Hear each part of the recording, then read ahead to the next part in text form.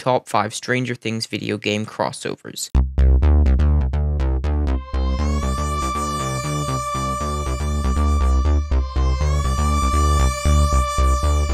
Hey everyone, DJ Magones here and welcome back. We're Season 4, Volume 2 of the TV show Stranger Things released last week, so today I'm going to be going over the top 5 Stranger Things video game crossovers. Let's get right into this. At number 5, we have Roblox. Yes, Roblox did get a Stranger Things crossover back in 2021. Roblox released a game called Stranger Things Starcourt Mall that allowed you to play a bunch of Stranger Things inspired mini-games inside a Roblox version of the Starcourt Mall from the TV show. You could play these games to unlock coins, which could then be spent on Stranger Things themed avatar items.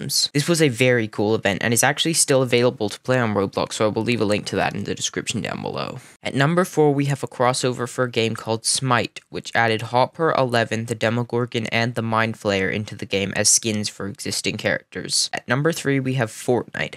Back when Stranger Things Season 3 came out, Fortnite introduced Hopper and the Demogorgon as skins, as well as an upside down style Vine weapon wrap. Along with that, they added a bunch of upside down portals that would teleport you to other parts of the map. These skins have not returned to the Fortnite item shop since then, but with Stranger Things Season 4 Parts 1 and 2 having released this year, it is very likely that they'll come back at some point. At number 2, we have Dead by Daylight. This horror escape game got a Stranger Things crossover, adding Steve Harrington and Nancy Wheeler into the game as player skins, and adding the Demogorgon as a killer skin. The DLC bundle for these skins is unfortunately not available to buy anymore, so it's not possible to get these skins. Finally, at number 1, we have Minecraft. Mojang added a Stranger Things skin pack into Minecraft that contained pretty much every single main character from Stranger Things Seasons 1 and 2. This is one of the coolest Minecraft crossovers I've ever seen, but unfortunately, this skin pack is not available to buy anymore. So I hope you enjoyed this video. If you did, make sure to leave a like and subscribe, and I will see you all next time.